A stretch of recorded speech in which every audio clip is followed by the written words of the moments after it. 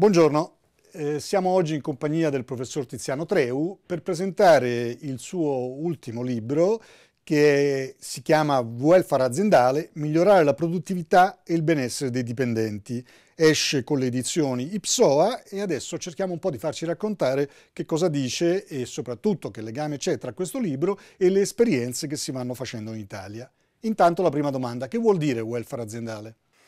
È un insieme di misure che le aziende possono prendere, ma anche i territori, comunque le aziende soprattutto, per dare ai dipendenti dei benefici, dei provvedimenti che riguardano la sanità, le pensioni, eh, il rapporto con la famiglia, con la scuola, integrative queste misure rispetto al welfare pubblico che, che, tutti conosciamo, che sappiamo fa fatica a funzionare. Si sta molto diffondendo questo welfare aziendale. Ecco, ci fa il nome di qualche azienda, di qualche esperienza più significativa?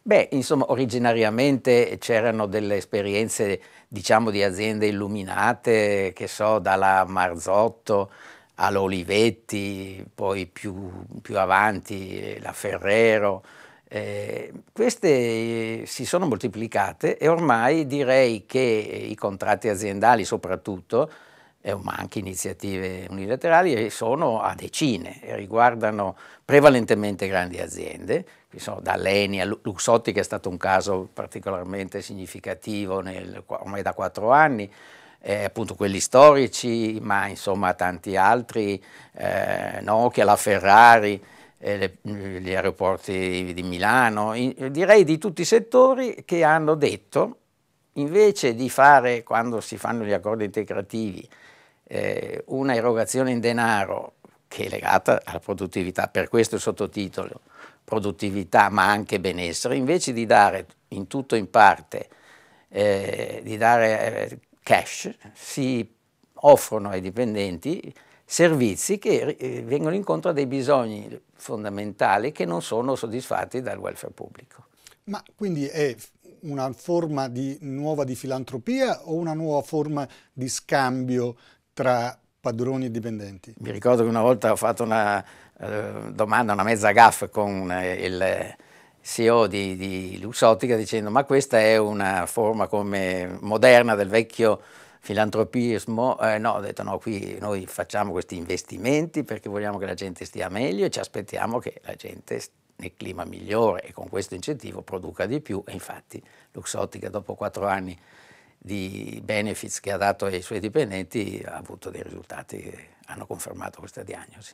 Ecco, poi eh, vediamo voce per voce, ma eh, quindi la diffusione del welfare aziendale può creare i presupposti per una partecipazione diversa in azienda e tra l'altro se non sbaglio lei aveva eh, messo in piedi un'ipotesi un addirittura di, di, di, nuove norme sulla partecipazione. Che legame c'è e a che punto siamo? Beh la partecipazione si può fare in tanti modi, no? in Germania hanno cominciato a fare la presenza dei rappresentanti dei lavoratori nei consigli di vigilanza però quella che conta anche o soprattutto è che la gente nelle giornate normali di lavoro si senta accudita, quindi ci sia modo di dire la propria nell'organizzazione del lavoro, nei tempi e anche di vedere che quello, il loro impegno poi si traduce in una partecipazione ai risultati, che possono essere appunto partecipazione in denaro oppure in questo caso in servizio. Ormai in Europa eh, è una cosa comune sta diventando comune anche da noi. Ecco, e il disegno di legge? Il disegno di legge è, sulla partecipazione? Vede, vede, uno dei casi in cui però quello è ancora lì fermo perché doveva essere approvato dallo scorso governo, mi, mi risulta che il nuovo ministro eh, riprenderà il tema, eh, però vedi, le esperienze vanno prima della legge, io sono di questa idea che se le esperienze aprono la strada la legge viene più facile, non rovescio, io mi auguro comunque che ci sia anche questa normativa.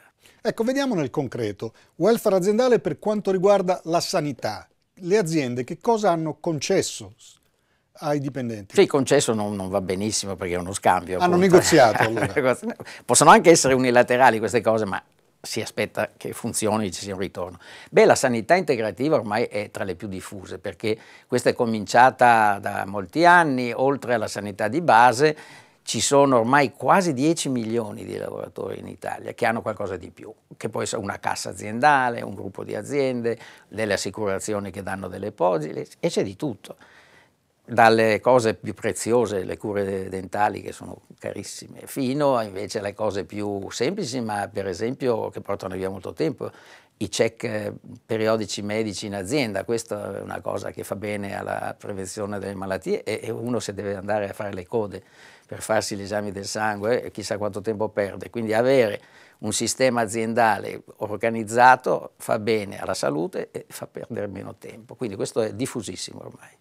E la famiglia, perché stiamo parlando di eh, istituti che possono essere usufruiti non solo dal singolo dipendente, ma anche dai suoi familiari. Ci fa qualche caso? Sì, anche questo, siccome di famiglia si parla tanto, però si fa poco, la famiglia deve fare welfare proprio, no? si dice che il modello italiano è un welfare scaricato sulla famiglia. Molte aziende, per esempio Luxottica, ha cominciato guardando soprattutto in certi territori dove c'è una presenza della comunità locale, delle famiglie molto vicine all'azienda, ha detto beh, bisogna fare qualcosa. Allora, dal carrello della spesa, che in un momento di difficoltà per molte famiglie è un aiuto perché uno prende dei beni controllati a prezzo molto favorevole, fino all'aiuto eh, per i figli. Se uno ha un figlio piccolo allora si integra all'asilo o addirittura si paga una parte della retta. Le mamme dove ci sono molte donne con bambini piccoli dicono che oltre all'asilo è importante avere la possibilità di una babysitter veloce quando un bambino o, la, o, o le maestre insomma, si ammalano e quindi ci sono dei buchi nella cura dei figli. Questo è diffusissimo si sta diffondendo molto eh, la cura degli anziani, perché ormai quasi tutte le famiglie hanno, sì, magari non tutti i bambini, speriamo di più, e, e anziani da curare. E allora anche lì eh, assistenza, questo costa molto, ma è un punto importantissimo. La famiglia ormai deve essere presa in carico anche da queste forme. Beh, ma una rete di servizi molto estesa, come viene gestita poi anche da un punto di vista organizzativo? Beh sì, questa è una domanda giusta evidentemente. Se l'azienda è grande come Luxottica, come so, le grandi banche, eh, possono fare in proprio molte cose. So, tutte le casse sanitarie delle banche, Banca Intesa, Unicredito, eccetera, sono gestite in proprio, fanno una grande convenzione con un'assicurazione e va così Luxottica lo stesso, si è addirittura convenzionata con tutte le coop, i grandi magazzini delle zone dove opera.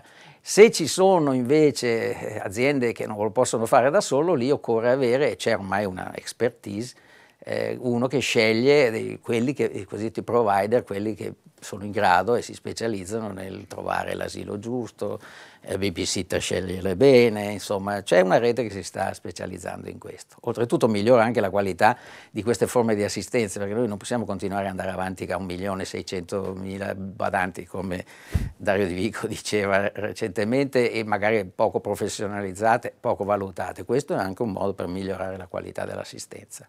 I sindacati hanno accettato totalmente questa nuova filosofia o all'inizio hanno avuto delle pregiudiziali ideologiche? Già la domanda fa capire che ce ne intendiamo. In effetti all'inizio, come spesso capita, dice no, ma io meglio pochi maledetti subito i soldi del premio di produzione. Allora spieghiamo che se tu dai 1000 euro in premio, te ne mangiano metà tra le tasse, eccetera, eccetera. Se li dai in servizi, Quasi tutti questi servizi hanno degli incentivi per cui tu in realtà con 1000 euro ne dai molti di più, oltre a dare cose che sono utili. E quindi i sindacati si sono cominciati a persuadere e ormai insomma, gli accordi si moltiplicano. Un'ultima domanda. Eh, il diffondersi di queste pratiche sul breve è sicuramente vantaggioso, ma non è che poi mette in secondo piano le esigenze di riforma del, del primo welfare, di quello eh, di tutti noi? Non è una, dire, una distrazione rispetto all'obiettivo che un paese moderno deve darsi? Ma questo era uno dei punti che il sindacato sollevava no? sempre, però attenzione, eh, intanto eh, per il welfare pubblico è già molto che riesca a reggere e non sarà certo qualche cosa in più come sono queste che lo mette in difficoltà.